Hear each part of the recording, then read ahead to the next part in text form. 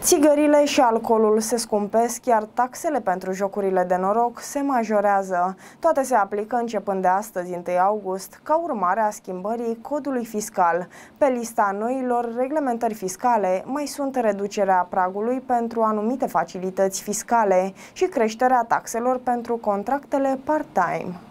Conform Digi24.ro, începând de astăzi, cei care câștigă sume mari la jocurile de noroc vor încasa mai puțin bani, deoarece impozitul a fost majorat. Pragurile de impozitare pentru jocurile de noroc se modifică astfel. Pentru jucătorii care câștigă până la 10.000 de lei inclusiv, impozitul va fi de 3%.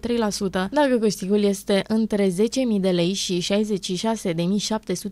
de lei, atunci impozitul este de 20% pentru suma care depășește 10.000 de lei, la care se adaugă o taxă de 300 de lei. Dacă suma câștigată depășește 66.750 de lei, atunci jucătorul va plăti un impozit de 11.650 de lei plus 40% din suma care depășește 66.750 de lei. Impozitul datorat se va determina la fiecare plată a respectivului premiu câștigat la jocurile de noroc. Tot de la 1 august crește și accizele pentru țigări și băuturi alcoolice, astfel pentru țigarete acciza totală se majorează la 594,97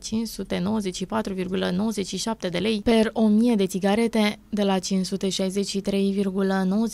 de lei per 1000 de de țigarete. O altă modificare fiscală se referă la salariile part-time. Cele care sunt sub nivelul salariului minim vor fi taxate la nivelul salariului minim ca și cum ar fi întregi. Excepție vor face elevii și studenții cu vârste sub 26 de ani, pensionarii care beneficiază de pensie din sistemul public și persoanele care au mai multe contracte part-time dacă valoarea acumulată a venitului din acestea nu depășește valoarea salariului minim pe economie. Pe de altă parte, plafonul pentru facilitățile fiscale în agricultură, industrie alimentară și construcții scade de la 30 30.000 de lei până la 10.000 de lei. Astfel, suma care depășește 10.000 de lei nu va mai beneficia de facilități fiscale.